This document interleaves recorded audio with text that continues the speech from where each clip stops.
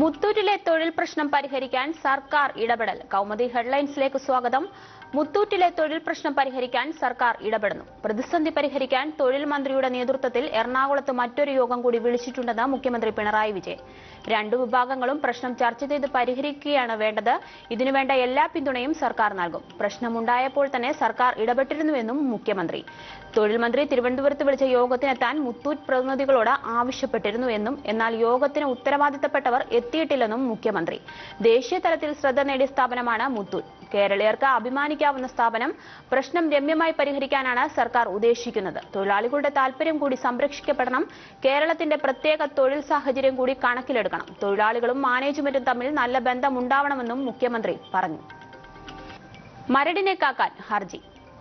മരടിലെ ഫ്ളാറ്റ് പൊളിക്കലിനെതിരെ നാല് ഫ്ളാറ്റ് ഉടമകൾ സുപ്രീം കോടതിയിൽ പുതിയ റിട്ട് ഹർജികൾ ഫയൽ ചെയ്തു. നിയമലംഘനം പഠിക്കാൻ ചുമതലപ്പെടുത്തിയ സമിതി തങ്ങളുടെ വാദം കേട്ടിട്ടില്ലെന്ന് ഹർജിക്കാർ.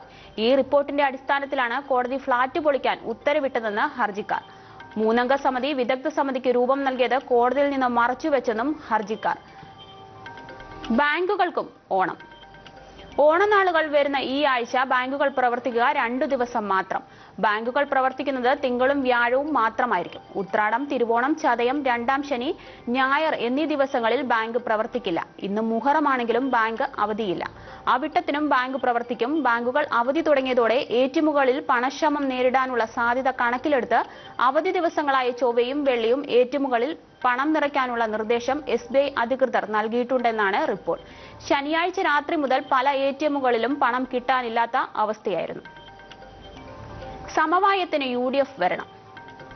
പാലായിലെ കേരള കോൺഗ്രസ് പ്രതിസന്ധിയിൽ യു ഡി എഫ് ഇടപെടണമെന്ന് പി ജെ ജോസഫ് ഒന്നിച്ചു പ്രവർത്തിക്കാൻ യു ഡി എഫ് ഇടപെടണമെന്ന് കെ പി സി സി അധ്യക്ഷനുമായി നടത്തിയ ഫോൺ സംഭാഷണത്തിൽ പി ജെ ജോസഫ് ചർച്ചകൾക്കായി ജോയ് എബ്രഹാമിനെയും മോൻസിനെയും ചുമതലപ്പെടുത്തിയെന്നും ജോസഫ് പറഞ്ഞു.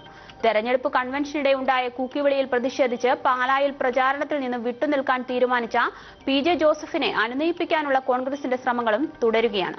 നിലവിലെ ശ്രമം ജോസഫ് ജോസ് പക്ഷം നേതാക്കളെ ഒരുമിച്ചിരുത്തി പ്രശ്നം പരിഹരിക്കുന്നതിന് ജോസഫ് വിഭാഗം നേതാക്കളായ മോൻസ് ജോസഫുമായും Joy എബ്രഹാമുമായും U D F convener Benny ബെഹനാനും മുതിർന്ന കോൺഗ്രസ് നേതാവ് തിരുവഞ്ചൂർ രാധാകൃഷ്ണനും ഇന്ന് വൈകിട്ട് വീണ്ടും ചർച്ച നടത്തും.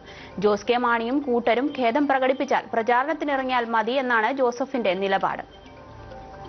തരിഗാമി എയിംസിൽ.